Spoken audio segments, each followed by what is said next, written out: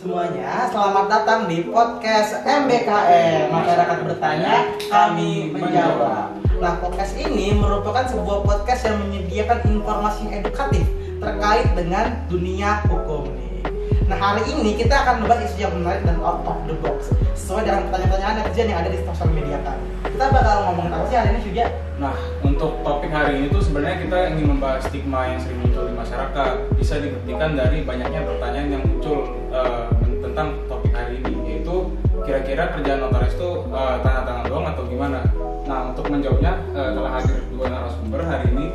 Mungkin bisa perkenalkan diri dulu narasumber. Eh, nama saya Dante Dirwan Rizwara. Nama saya William Asfi Wijaya. Nah, mereka berdua ini merupakan keluarga notaris nih teman-teman semua. Dante, namanya notaris, dan William, namanya notaris. Nah, kalau boleh tahu nih Dante, sebenarnya apa sih kerja notaris itu?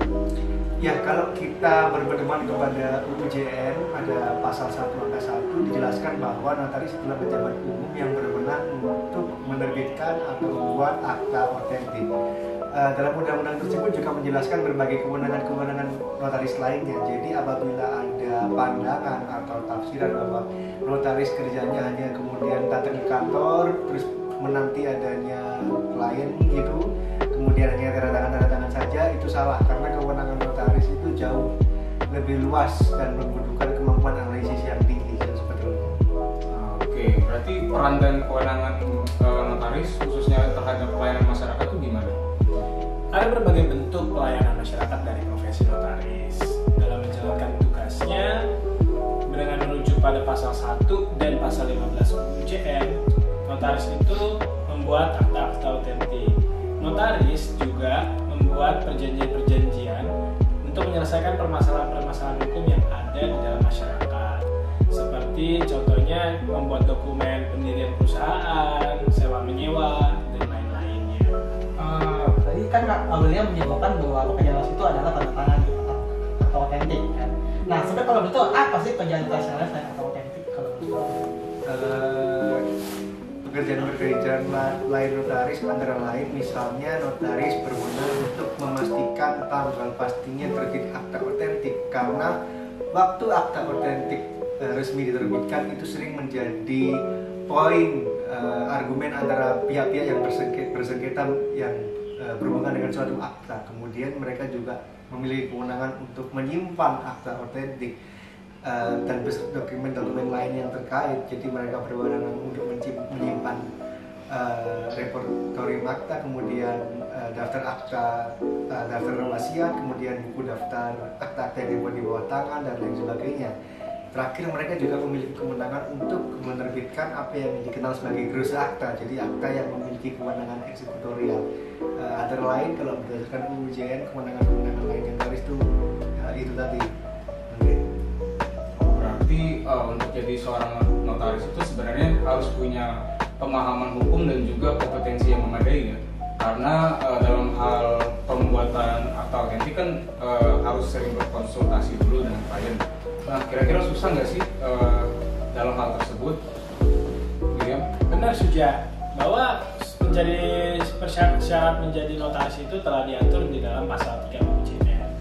Antara lain lulusan sarjana hukum dan lulus strata 2 penotariatan. Sebenarnya sih dibilang susah nggak sih jadi notaris? Nggak terlalu susah, karena sebenarnya sejak dari bangku kuliah kita kan sudah belajar berbagai macam bidang ilmu hukum, khususnya di bidang perdataan, mengenai agraria dan bidang-bidang ekonomi. Nah, eh, dari situ kita sudah mempunyai beberapa bekal yang dapat kita gunakan untuk membantu menyelesaikan permasalahan yang di, di yang dimiliki oleh klien. Oke, berarti seru juga ya jadi notaris karena bisa membantu menyelesaikan dan juga eh, bisa mem- memecahkan lah masalah terutama keperdataan masalah keperdataan di masyarakat luas. Berarti stigma masyarakat itu salah ya? Ya. Itu kan pernah itu salah. Ya, itu Ah, oke. Itu pemirsa dilihat ya, harus itu Nah mungkin boleh nih sebelum kita mulai podcast pada hari ini dari Dan sama William memberikan closing statement. Mungkin bagi teman-teman yang menjadi notaris nanti di depan uh, hari seperti apa. Mungkin boleh dari Dan juga berkaitan dengan eh, mungkin setelah melihat podcast ini dari penonton banyaknya kemudian berpikir bahwa oh jadi notaris berarti eh, sulit ya berarti perlu, pengetahuan hukum yang mendalam. Eh, sebenarnya setiap profesi punya syarat-syarat dan kualifikasi kualifikasinya masing-masing dan itu semuanya eh, kalau ditekuni insya Allah dengan ikhtiar dan tawakal semuanya bisa menjadi lancar asalkan kita memang mempunyai niat untuk bisa menjadi mampu itu seperti itu Benar seperti kata teman saya deh, Dante. Dan kerjanya notaris itu profesinya nggak cuma tangan tangan saja teman-teman. Notaris itu membantu menyelesaikan permasalahan-permasalahan hukum di dalam lingkup keperdataan yang dimiliki oleh masyarakat.